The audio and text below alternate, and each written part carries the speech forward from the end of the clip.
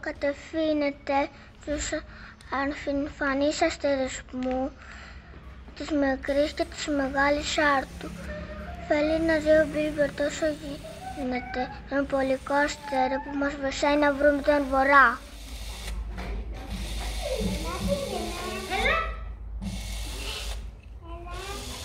Να κρύβω πίσω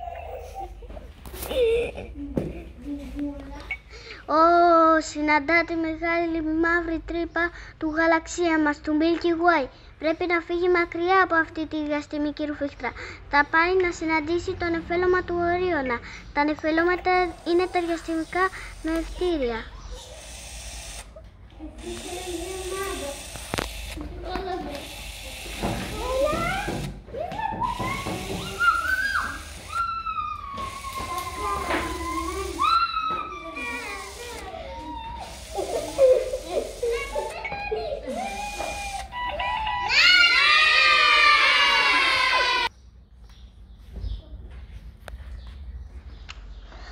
Όλα για παιχνίδι.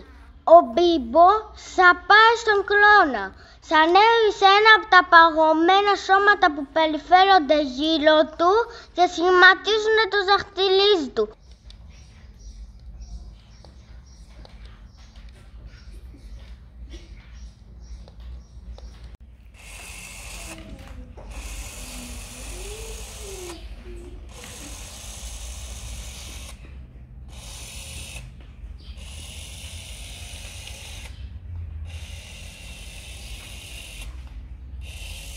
Ο Τιολάιζεα, ένας διαστημικός μύρος σαν κι αυτόν της παιδικής χαλάς, θα κάνει γύρω-γύρω τον πλανήτη.